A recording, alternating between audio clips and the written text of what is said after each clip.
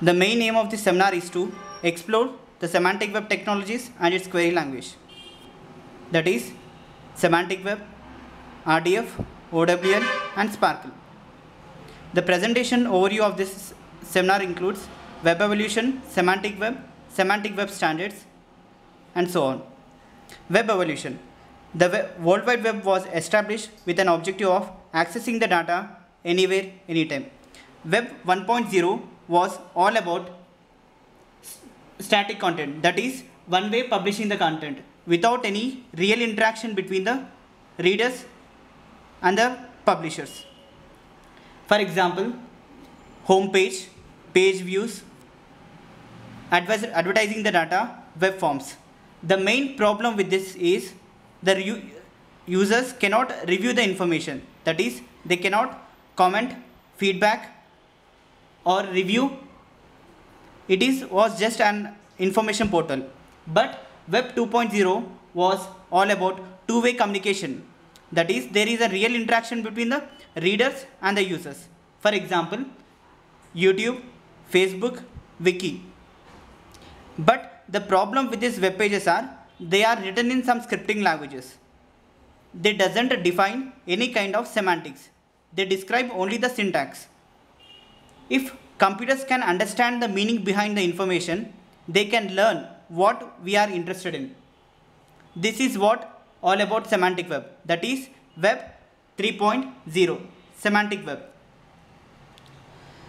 Mostly the word, the word semantic itself implies the meaning and the information. The main aim of the semantic web is to make the content worldwide accessible and readable for a machine. For example, if we consider a computer, in order to search for a book from a web page by parsing it, it cannot tell whether the web page is for a book site or any other. It cannot tell what type of book it is, who has written it, and many other. How this data is related to the previous versions of the data. So, semantic web answers all these questions by making the relationship between the data. The main aim of the semantic web is to make the content worldwide web accessible and readable for a machine. Its goal is to change current unstructured data into web of structured data so that the data can be used by the applications and end results will be understandable by the machine. Those semantic web standards uses three standards that is RDF data model, OWL and SPARQL. So first one resource description framework. So resource description framework is used to represent any resources in this world like the sun, the moon, the earth, the computer or anything. Resource description framework is one of the foundational semantic web technology, the other two being OWL and SPARQL. It is a basic building block of a statement. It is an universal readable machine. Basically, this RDF is in the form of XML syntax. The different notations of RDF is turtle, NTRPL and JSON. In order to generate RDF using Java technology, we use Apache Jena framework. But for, for using, um, using uh, in order to generate RDF using the C++, it has corresponding APIs and the libra libraries like Redlib. For example, this uh, resource description framework is used to describe about a simple statements that is subject, predicate and object. However, to define this RDF vocabulary, we need a controlled vocabulary language that is ontology. Ontology is a main knowledge representation technique in which it defines a knowledge. For example, ontology defines the common words and the concepts used to describe the area of knowledge. For example, let us look at this example. For example, blackberry is a fruit. It is an edible thing, whereas blackberry is a uh, mobile device. There are two types of things. Like blackberry is the same fruit as well as the mobile. In order to differentiate this, ontology is used to define the concepts behind this. For example, what are the properties, characteristics, attributes, data properties and object properties.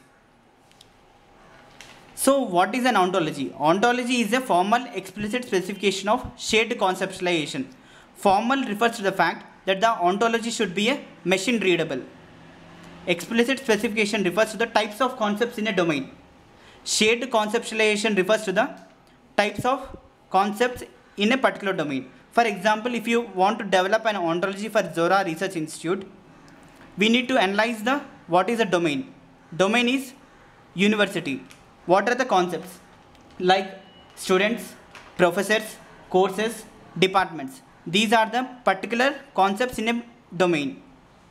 This is the, this is the explicit specification.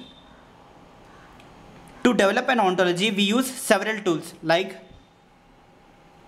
uh, Protegify, Onto, Onto Studio, Pro, Protbyte Composer and many other.